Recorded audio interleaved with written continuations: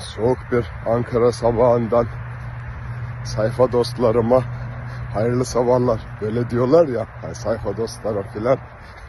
Uyar sıkıntı yok. Yürüyüşümüzü yapıyoruz. Bugün Ankara'dayız. Dün Antalya'daydık. Bugün Ankara'da sabah sporu yapmak yine nasip oldu.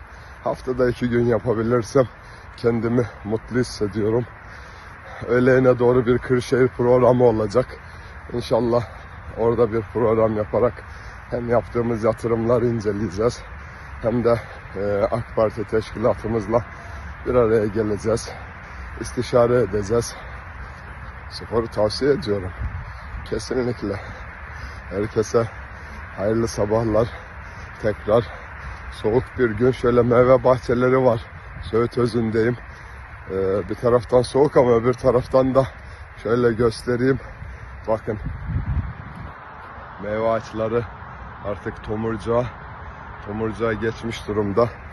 İnşallah bir don olayı olmaz da tarımla uğraşan vatandaşlarımız bu anlamda mağdur olmazlar.